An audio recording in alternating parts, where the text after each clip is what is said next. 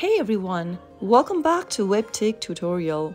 In today's episode, I'm going to be showing you how to log into your GoWish application. So let's dive in into the video since it's pretty easy. From the app drawer, go ahead and launch open GoWish application. The first interface of GoWish will look like this. If you already have an existing account, go ahead and tap on the login button at the bottom of the screen. To log into your existing account, make sure to select the same method that you chose while signing up for GoWish. Since I chose the email option to sign up, let me select the same over here. Tap on login with email and then type in your email address followed by your password associated with GoWish. Start off by entering your email first. Next, enter your correct password for your GoWish account. If you don't remember the password, tap on the Forgot Password link and follow through the password reset process. After resetting to a new password, you can type it in in the password field and simply tap the login button at the bottom. Soon after you do that,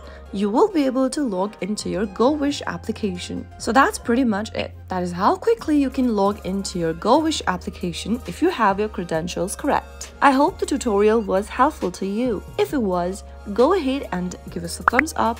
Don't forget to subscribe to the channel by hitting the subscribe button.